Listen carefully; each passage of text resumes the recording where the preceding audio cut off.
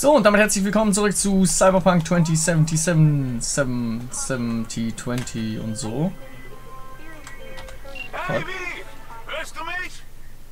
Laut und deutlich. Schrei nicht so rum. Was gibt's? Ich mache einen kleinen Wettbewerb. Schießen, Preise und so. Also hier in der Anlage. Naja, das klingt doch logisch. Und? Bist du am Start? Ich dachte, Partys sind nicht so dein Ding. Ja, eine große Sache wird das auch nicht. Aber die Eddies werden knapp und das ist zur Kundenbindung und so. Du könntest ja Knarren direkt aus der Produktion verkaufen. Überspring einfach das stundenlange Basteln an jeder Pistole. Wie? Also wirklich? Ja, also, das kam jetzt random. Klar, War wirklich nicht Dabei. geplant. wann? Aber ich hab Bock. Jetzt. Wir warten auf dich. Ja, lol. Bis gleich. Äh, na gut. Takemura ist noch nicht hier, wie wir sehen. Warum nicht, ne? Ähm, jetzt erstmal wieder in die Steuerung kommen. Äh, Karte. Journal öffnen. Hm. Ah, Automatic La Ach, wir haben jetzt mehrere. Ah, okay. Gib dich zum Af. Oh, scheiße. Drohung hoch, sehr hoch. Ja, äh, ich würde gerne schießen. Na, wir gehen jetzt mal schießen. Geht zu Wilsons Schießstand. Wo ist er denn, der Boy? 500 Meter entfernt. Das ist ein bisschen weit. Ohne Auto. Gibt es hier Schnellreisemöglichkeiten? Ich könnte schwimmen, wa? Geronimo! Ja, obwohl ich im letzten Part schon geschwommen bin. Will jetzt ein bisschen ballern. Schnell schwimmen. Shift.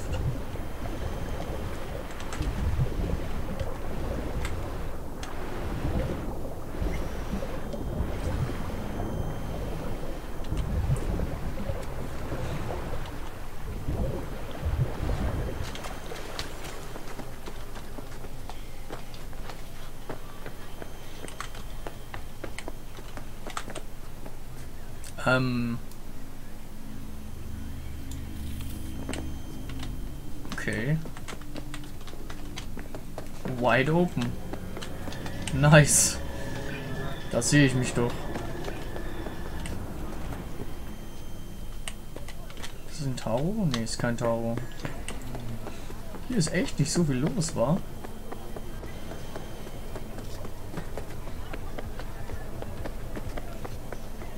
Ah, shit. Das ist ja ganz woanders irgendwie.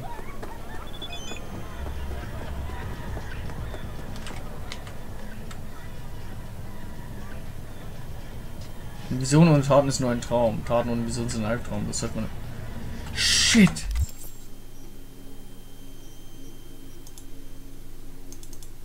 Okay, ich glaube, wir müssen doch zu ihm, oder? Weil das ist. Oh nein, oh nein, nein, nein. Ich will nicht schon wieder eine Mission verkacken.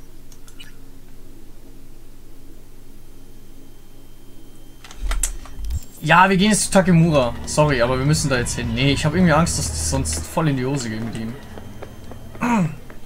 Ich glaube, es gibt zeitlich basierte Events. Ich weiß zwar jetzt nicht genau, wie das gerechnet wird. Aber ich kann es mir nicht verscherzen. Es ist zwar eine Story... Also Automatic Love scheint Pause zu haben. Also ich glaube, das können wir verschieben. Okay, die scheinen auch zu ballern. Wie komme ich da wieder hoch? Ist die Frage. Mm. Oberfläche. Hallo. Gab es doch irgendwo eine Treppe, oder nicht?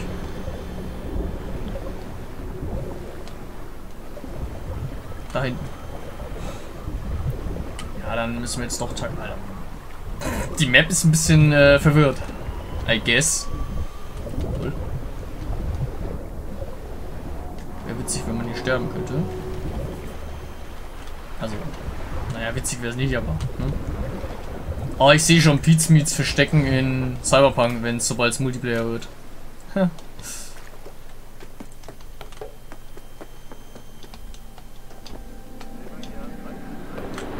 So, dann treffen wir noch mal Takemura an.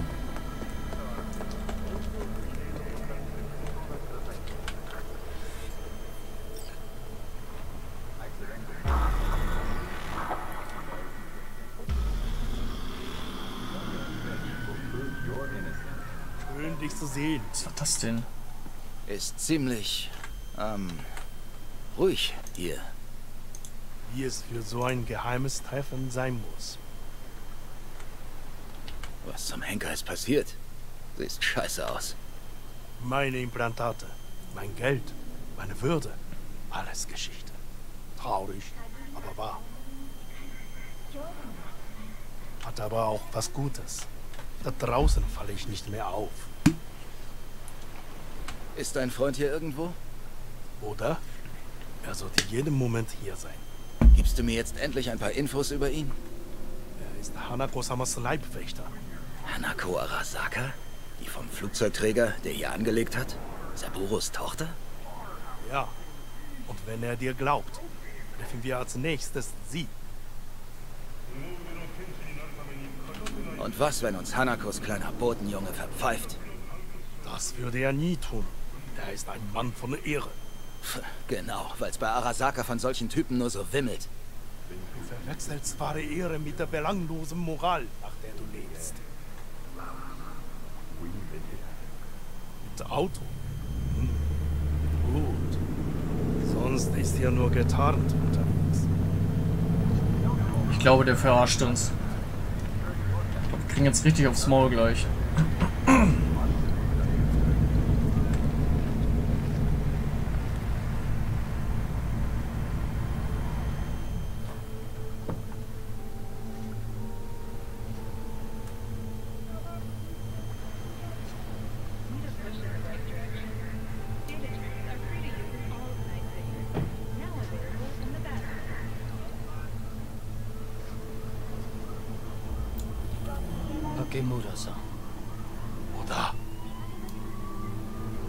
Ist er das?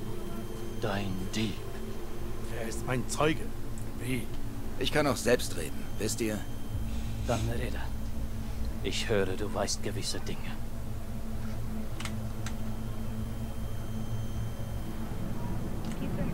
Dir wird nicht gefallen, was ich erzähle. Ich will eine Garantie für meine Sicherheit.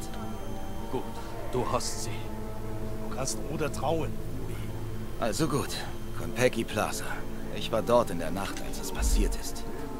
Fing wie ein normaler Familienstreit an, bis Yorinobu sich auf Saburo stürzte und ihn erwürgt hat. Kein weiteres Wort. Du führst den Tod an deine Tür. Es ist die Wahrheit. Hanako-sama muss davon erfahren. Mein einziges Interesse liegt darin, sie in dieser gottverlassenen Stadt zu beschützen. Ist sie in Gefahr? Im Moment? Aber sicher während der Parade zu Ehren von Arasaka-sama. Ich bringe dir einen Zeugen für den Mord. Und du sorgst dich um eine dumme Parade? Du Narr! Korrekt. Denn im Gegensatz zu Du dir... kannst die Wahrheit nicht ignorieren. Korrekt. Denn im Gegensatz zu dir gehe ich meinem Danke, Leon, für dein Follow. Noch nach. Diese Worte wirst du bereuen. Das Einzige, was ich bereue, ist, dass ich überhaupt gekommen bin. Als ob der uns jetzt nicht glaubt. Auf deinem Kopf steht eine Belohnung. Ich tue Entschuldigung, aber dauert das noch lange?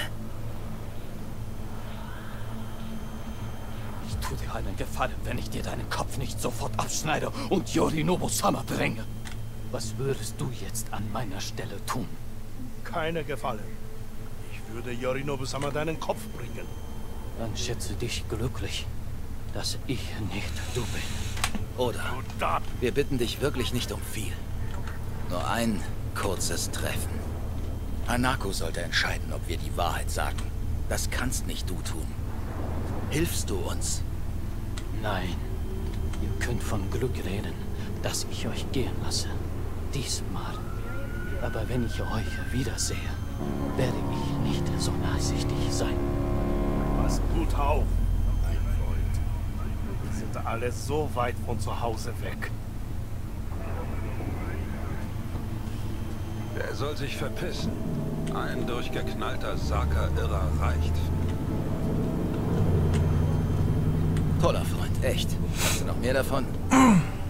Leider nur ihn. Tja, wir haben es immerhin versucht. Oh ja. Und Wir haben etwas Nützliches erfahren. Wie meinst du das? Die Tochter ist bei der Parade. Was Robert sagte. Nach der Parade wollen sie nach Tokio zurück. Verstehst du nicht? Die Parade. Das könnte vielleicht unsere Chance sein. Wenn wir doch nur irgendwie... Wir sollen Hanako-sama entführen, Zuerst müssen wir alles obwohl wir. Mordverdächtiger sind. Für den Vater, also für ihren Opa quasi. Warte. Ja. Jetzt ist es an dir, Freunde anzurufen. Kennst du einen guten Fixer? Hey, Moment. Nicht so schnell. Du tust so, als würden wir uns in eine SBEM reinhacken. Du hast selbst gesagt, Hanako hat den besten Schutz von Night City. So ist es. Deshalb will ich, dass du den passenden Fixer anrufst. Ich kenne genau die richtige. Wakako. Okada. Hat eine Pachinko-Bude in der Jig Jig Street. Ich sollte ihr einen Besuch abstatten. Kommst du mit? Klar, warum nicht? Also ihn vertraue ich, weil der hätte uns schon längst umbringen können. Er hat uns auch das Leben gerettet. Warum sollte er? Also das ist halt, der ist kein Imposter. Dieser Oda macht mir ein bisschen Sorgen, weil der ist schon, der sieht schon... Ich dachte schon, wir machen jetzt hier einen 2 gegen 1 Fight gegen den. Das wäre krass gewesen. Gigi Street. GG Street, Alter. Was ist das für ein Name? Chick Chick übrigens. Einer, der zu Night City passt. Hey, ist es nicht Chick Chick Street? Du machst dich lustig. Zu oft. Junge, du musst das Leben mit Humor nehmen. Eine Ahnung, was bei Arasaka los ist. Nur das, was ich mir aus dem Fernsehen zusammenreimen kann. Yorinobu und seine Marionetten grinsen in die Kameras und behaupten, alles sei unter Kontrolle. Aber je breiter das Grinsen, desto größer die Lüge. Alles okay bei dir, Goro? Ja, woher die plötzliche Sorge?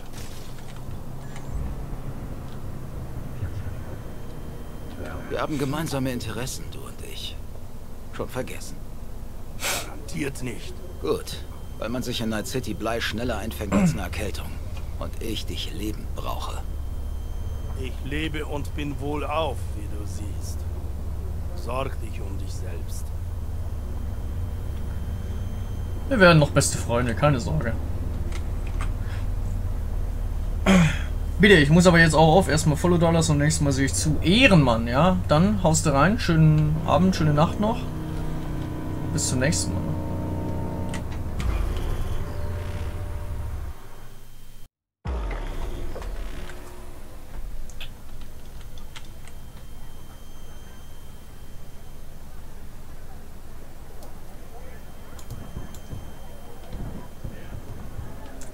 Jig Jig Street.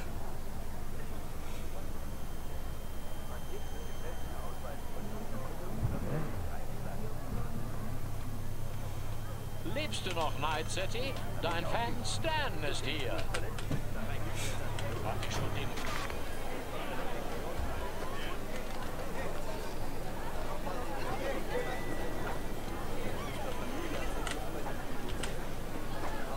War noch was fürs Thumbnail.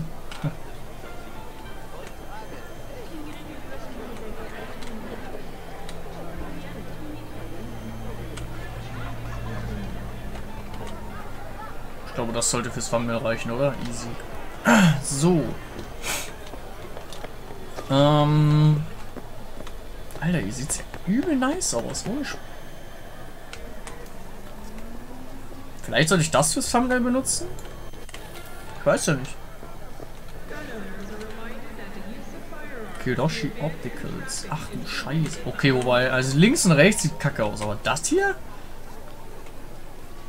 Ach so, das sind Doppellinsen. Ich dachte, das wäre so hier äh, Naruto-Style, also wie diese... Ich kenne mich da nicht so aus. Shinigami, glaube ich? Nee. Heißt, glaube ich, nicht so. Hm. Gut, ähm... Wakako Okida oder wie die heißt. Let's go. Bliss. Oh, das ist äh, bestimmt so ein.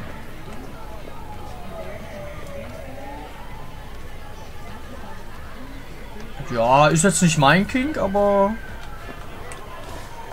kann man machen. Definitiv. Macht die Alte das, ohne sich den Rücken zu brechen. Jahrelange Übung. Alter, vor allem mit so Neonlichtern. Holy. Gehen wir noch wohin? Wie wär's mit etwas Action? Tschüss. Kannst du dich so verlieben? Ähm, Hm, siehst du lecker aus. Komm her und lass mich mal lecken.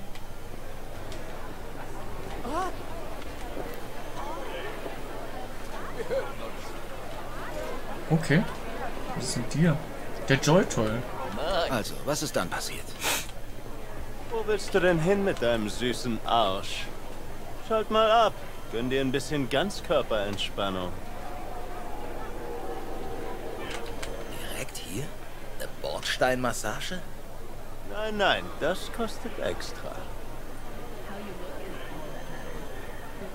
Will ich das überhaupt sehen? Zeig mir, was Warum nicht? Können. Du weißt, wie man richtig lebt. Komm mit.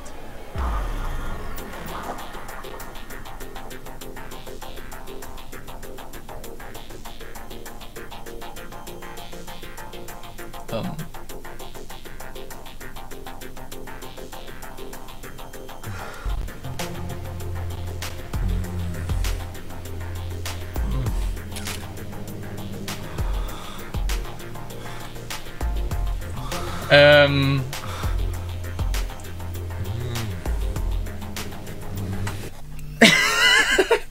okay. Für 100? Bro, du kannst. Also. Ich will nur mal kurz. ich will mal kurz klarstellen, dass ich nicht schwul bin. Ich finde es jetzt aber auch nicht schlimm oder so, nur finde ich jetzt ein bisschen weird, weil das ja mein Charakter ist. Also, das war jetzt nicht so geplant. Ich dachte, da passiert weniger, weil 100 jetzt nicht gerade viel Geld ist. Als ob der für 100 eine ganze Nummer schiebt. Für 100! Du kannst doch gerade das Fünffache verlangen. Kann man das überspringen? Das wäre jetzt ganz nett. Jo. Das ist gerade sehr unangenehm.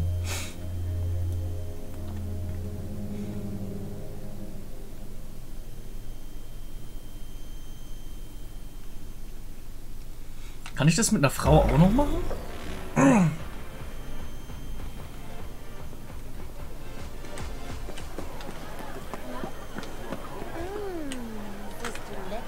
Also ich hätte gern noch eine Frau, das wäre perfekt. Hey, hast du heute Nacht ein bisschen Gesellschaft? Denn hier bin ich, Baby. Gehen wir irgendwo hin dafür? Oder ist das eher so eine Was? Gassensache? Pick doch nicht auf der Straße. Hab eine eigene Bude. Klar, hab grad nichts vor. Komm mit, Baby. Mashallah, was ist... Okay, ihr braucht ein bisschen. Als ob das geht.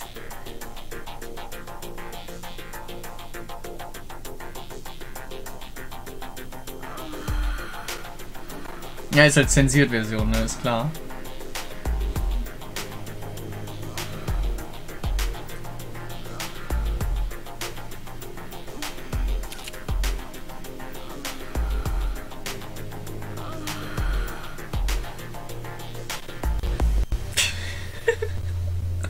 Ich muss sagen, ich finde das eigentlich ziemlich cool, dass ein Spiel sowas anbietet. Ich meine, es ist sehr realistisch, ja. Und lass uns kein, äh, kein Heal draus machen. Ich hab was, das macht ein Teil härter als deine Kindheit. Ich finde es einfach nur geil. Also, also im doppelten Sinne. Es ist schon. Es ist schon. Es ist schon cool. Ich sag mal so, in meinem Stream sieht man Dinge. Bin ja Let's Player. Ich möchte so gut es geht alles zeigen, was man zeigen kann und was sehenswert ist. Deswegen äh, habe ich auch beide Perspektiven genommen. Ne? Hat mich nur 200 gekostet. Ist ein, für mich ein sehr angenehmer Preis. Im generellen. Ich würde denen empfehlen, die Preise ein bisschen hochzuschrauben. Ihr seid ja keine Fliedchen in dem Sinne. Ne? Ihr könnt schon ein bisschen Money verdienen. So. Hat vor allem eine, es war vor allem eine lange Action. Also, ich bin ja So. Nicht gut mit Namen, aber Gesichter kann ich mir merken. Woher kenne ich nur Iris? Aus dem Fernsehen? Unwahrscheinlich. Ah, jetzt weiß ich. Hideshi Hino höchstpersönlich. Die Legende. Ah, du kommst gerade richtig. Wissen Sie, wer das ist? Hideshi Hino, der Late-Night-Comedian. War brillant, ehe er auf die Schiefbahn. Ja, ja, genau. Sie es doch nochmal. Anschnallen, Leute! Nein. Ach, kommen Sie. Sowas verlernt man nicht. Nur einmal. Bitte. Wie? Wir sollten los. Jetzt. Hideshi, enttäusch den armen Mann nicht. Das ist wirklich nicht der beste Zeitpunkt. Doch klar. Ach, bitte. Ich habe den Satz ewig nicht Jetzt gehört. mach schon. Stell dich nicht so an. Anschnallen, Leute.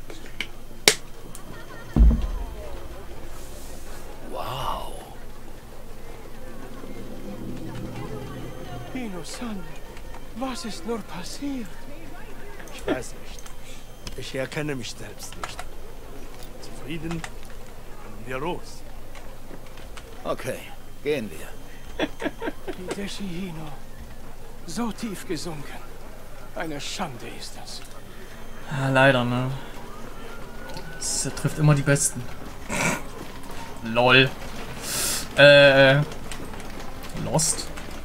Was willst du?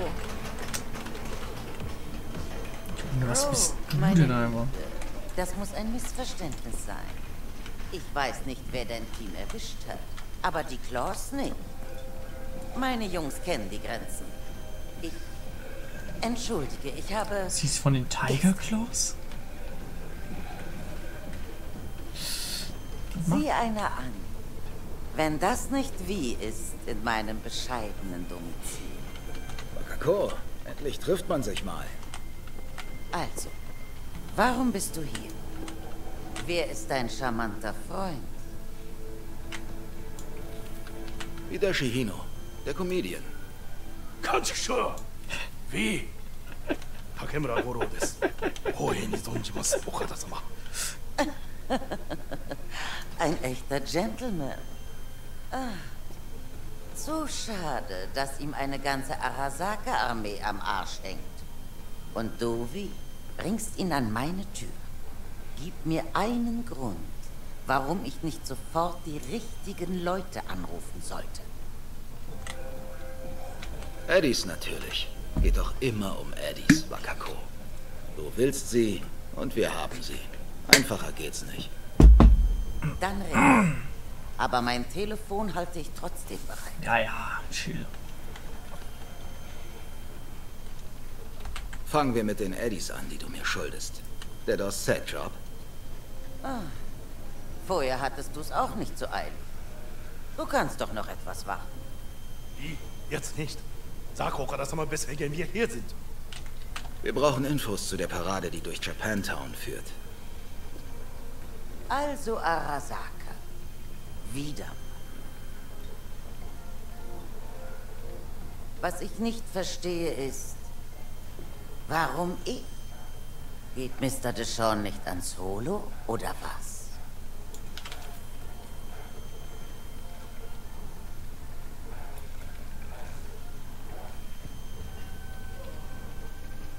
Arasaka und die Tiger Claws. Was wolltest Als du denn würde der sagen? Hund die Katze vögeln, oder?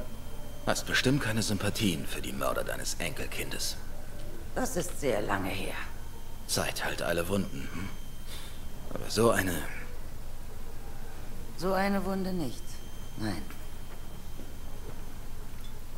Es ist alles auf den Splittern. Was ist dein Preis? Meine Taschen sind leer. Natürlich. Mein Geschenk an euch. Gratis. Okada-sama. Gratis bedeutet meist besonders teuer. Wollt ihr sie oder nicht? Gratis? Ganz sicher? Ich habe meine Gründe. Nur keinerlei Geduld.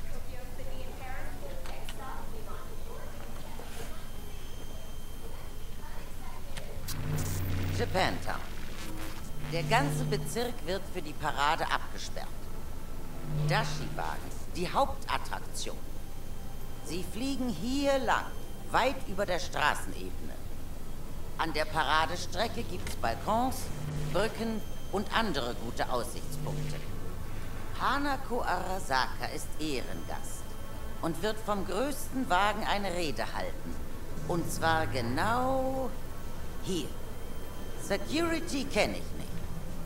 Aber dank gewisser Ereignisse wird die hoch sein. Ja, ja. Bei der letzten Parade waren verdeckte Arasaka-Leute in der Menge. Ansonsten die üblichen Scharfschützen, Drohnen und als wäre das noch nicht genug, mindestens noch ein Netrunner. Oh. Die nutzen die Überwachungskameras der Stadt, um alles zu beobachten. Hauptzugangspunkt ist hier. Ein altes automatisches Steuerzentrum. Ziemlich nützlich. Am Ende fliegen die Wagen aus Japantown raus und wir stecken bis zum Hals im Müll, den natürlich keiner aufsammelt. Das war's. Mehr habe ich nicht. Das muss reichen. Na dann, macht euch ans Werk. Gar nicht neugierig, warum wir uns all die Mühe machen. Ignoranz ist in meinen Augen ein Segen. Außerdem finde ich's ja bald raus. Oder? Danke, Wakako. Wir werden sie schon nicht umbringen. Wie ist denn das zu schätzen? Wir wollen mit ihr sprechen, dass ihr Vater ein Bastard ist, der ihren Opa getötet hat. Ähm. Das ist ein Smalltalk. Wie viele Ehemänner hattest du nochmal? Fünf. Alle vor ihrer Zeit von uns gegangen. Eine Tragödie. Das ist schon Keine ziemlich Angst, dass es scheiße. dich auch trifft? Ich muss doch für meine neun Söhne leben. Bin mir sicher, niemand kennt Westbrook so gut wie du. Meine Männer kannten Westbrook. Jeder einzelne ein hohes Tier bei den Tiger Claws. Ihnen gehörte Japantown. Was haben sie so gemacht? Das, womit man die meisten Eddies und die meiste Macht verdient. Sex und Schwarzmarkt-Tech verkaufen. Ja. Wir haben eine offene Rechnung. Du erinnerst dich an Sandra Dorset? Ich vergesse solche Dinge nicht wie. Hier ist deine Belohnung. Und dazu ein nennenswerter Bonus. Such dir einen Ripper. Der macht dir einen Dermalabdruck für die Smart Gun Kompatibilität. Eine Spezialität der Tiger Claws. Smart Gun? Danke. Ehre. Starke Frau. 3000 habe ich gerade verdient. Insane. Wir sollen nochmal... Hä?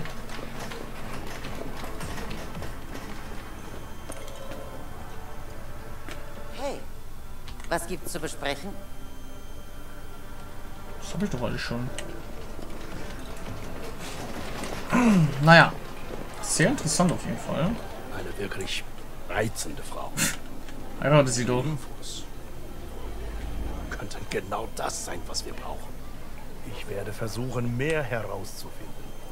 Ich bleibe hier und rufe einige nützliche Helfer an. Wenn ich etwas Neues erfahre, gebe ich dir Bescheid. Pass auf dich auf, Goro. Du auch. Bis zum nächsten Mal. Okay, begib dich zum Afterlife. Ich würde aber gerne tatsächlich lieber die Automatic Love Story verfolgen. Du willst, dass die Frau, die uns die Scheiße sie hat einen Job für dich und du hast ja gesagt, weil keiner da war, die, die, die, die Aussage, die jetzt hier was Die Jungfrau in Hüttenbüllsch ist Gut. Wir gehen zu ihr. Ähm. Was?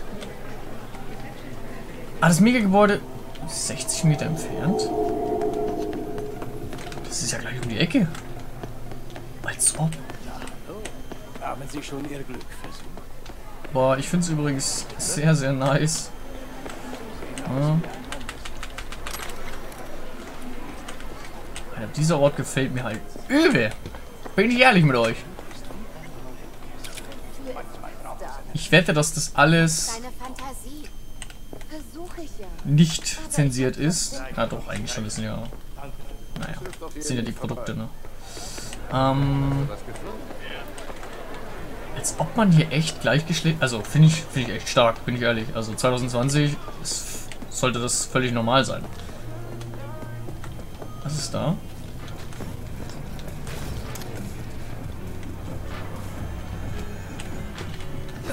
Hey, hey, wie? Warte mal kurz. Hör mal einen Moment zu. Haut ganz schön in die Klampfe, was? Für meine ungeschulten Ohren ganz ordentlich. Gibt wesentlich Schlimmeres. Weißt du warum? Die Technik ist nicht so wichtig. Aber das Feeling, das zählt. Der Junge trägt einen tiefen Schmerz in sich. Etwas, das ihn nicht loslässt. Und das hört man. Könnte ein bisschen mehr Charisma haben und die Akkorde besser treffen, aber so alles in allem gar nicht mal so übel. Aus deinem Mund klingt das fast wie ein Lob. Hast du auch so angefangen? Straßenmusiker mit großen Ambitionen? Sehr witzig. Ich habe nicht von Ruhm geträumt. Hatte alle Hände voll zu tun, damit die Welt wach zu rütteln. Erfolg kann sich lohnen. Wenn du die Welt wachrütteln willst, muss die Welt dir erstmal zuhören. Und das hat seinen Preis. Wer gibt dir denn einen Vertrag, wenn du in deinen Songs die großen Konzerne anmachst? Aber wer seine Ideale einmal verkauft hat, ist sie für immer los. Schon gut, du Künstlerprinzesschen. Immerhin hattest du ein paar Gigs. Hab die Erinnerungen gesehen. Ja, wir haben überall gejammt. In Parks, Fabrikhallen, Underground-Clubs. Und damals haben die coolen Leute uns gefeiert. Einige haben es aufgenommen und geteilt. Interessant. Oh, du meinst, man kann noch irgendwo alte Samurai-Bootlegs finden? Ich finde die Tapes. Ich feier dich und kreische wie ein kleines Groupie. Wie wäre das, hm? Versuch's ruhig, wie? Jetzt mal Spaß beiseite. Glaubst du, dass es nach all den Jahren solche Aufnahmen noch gibt? Hm. Das Rainbow Cadenza ist nicht weit von hier. Da haben wir früher ein paar Mal gespielt. Geiler Schuppen für Leute, die echt was von Musik verstehen. Vielleicht wissen die ja was. Stark. Wir haben jetzt echt eine kleine Sammelmission freigeschaltet, ne?